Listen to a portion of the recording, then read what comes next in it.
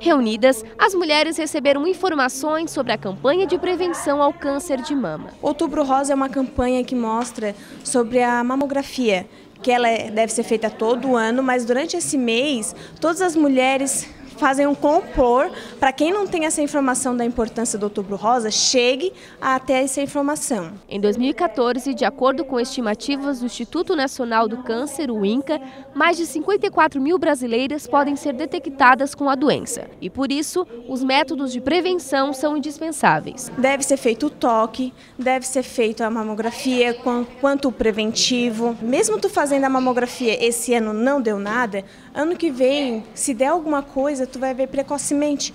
Tendo esse diagnóstico precocemente, o teu tratamento pode ser 100% melhor do que se tu deixar de lado e não fazer a mamografia. O câncer de mama é o mais comum entre as mulheres e corresponde a 22% dos novos casos da doença.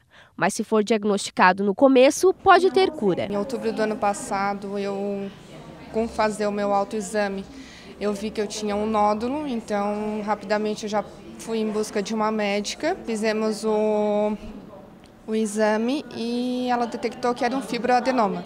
Então já em fevereiro deste ano eu tirei, que era na verdade era um nódulo benigno, não, não, não teria nenhum, nenhum risco, porém para garantir ela preferiu a gente que a gente tirasse. Para Fernanda, a melhor prevenção é fazer com que as mulheres tenham acesso às informações necessárias para saber detectar a doença. Acho que muita gente eles não tem a, a prática de fazer isso é, diariamente ou semanalmente, então eu acho que é muito importante as pessoas terem o conhecimento de fazer isso e de como fazer para descobrir um, um futuro problema maior.